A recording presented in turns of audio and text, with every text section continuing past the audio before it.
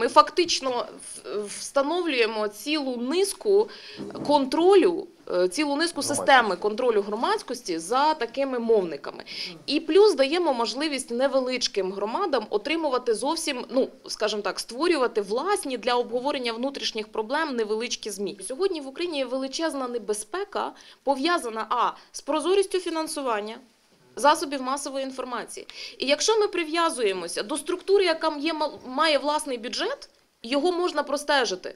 Бо це бюджет територіальної громади, і вона вирішила якусь частину цього бюджету, і це не буде велика частина, бо люди не дозволять цю велику частину витратити. Це буде частина досить таки помірна.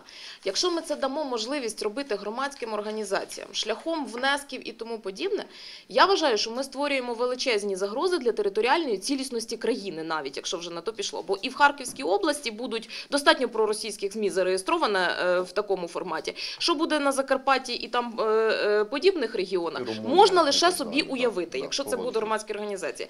І е, в даному випадку прозорість фінансування ми Не забезпечимо жодним чином. В даному випадку це найбільш прозора схема, зважаючи на ту ситуацію, яка сьогодні є в країні. Мені здається, що це оптимальний варіант.